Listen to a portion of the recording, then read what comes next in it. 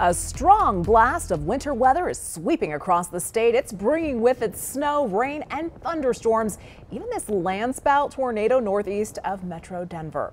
Thanks for joining us tonight. I'm Jessica Porter. And I'm Shannon Ogden. Glad you're with us tonight. We have team coverage for you. Colette Bordelon is out in Castle Rock. She's keeping an eye on I-25 tonight. We're going to begin inside, though, with our chief meteorologist, Mike Nelson.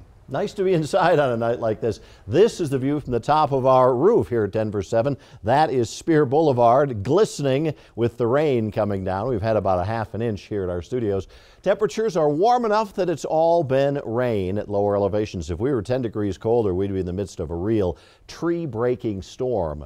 But it's coming down wet and not white, at least for elevations that are below about 7,500 feet. The mountains still have their share of winter storm warnings in effect overnight tonight, and just plenty of precipitation showing up. It's been swirling back toward the foothills, drying out a little bit now over parts of Aurora and out toward DIA, and you can see where that rain to snow changes over, over parts of Jefferson County down into Douglas County and certainly up into Gilpin and Clear Creek. It's all snow. That'll slowly drop a little bit farther down to lower elevations, but the metro will mainly mainly see wet conditions overnight tonight. The rainfall is decreasing. It'll mix with some snow overnight. The heaviest precipitation is going to slip down to the south. Wonderful news for Pueblo and Colorado Springs and southeastern Colorado. They're still in drought conditions there. So it's great springtime moisture and there's more on the way in the seven day. But let's focus on the task at hand, tonight's conditions and early tomorrow morning. For more details on what's happening down to our south, we will head down to Colette Bordelon and see what's happening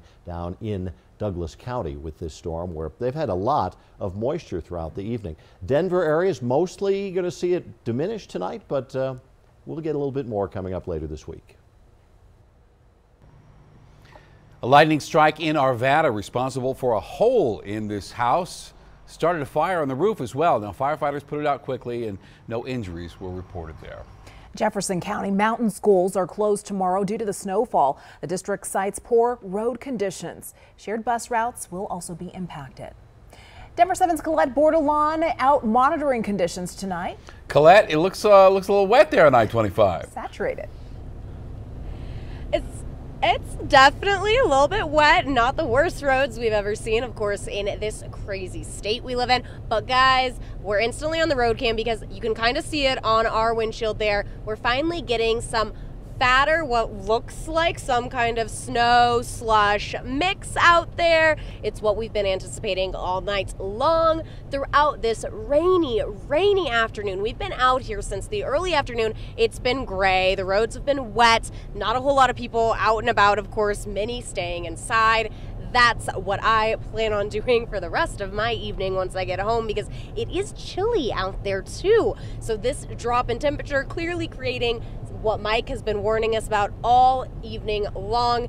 This April snowstorm that we're seeing in the mountains coming on down here to the front range. And right now, this is 25 north. We just left Castle Rock. So we are headed back to the Denver area to see what that looks like tonight. And we'll have another live look for that later on in our show. Right. Thank you, Colette. Be safe out there. Well, you can get the latest weather on your uh, on your time with the Denver 7 News app. You'll get weather updates sent right to your phone. The Denver 7 app is available for download in the Apple App Store and on Google Play.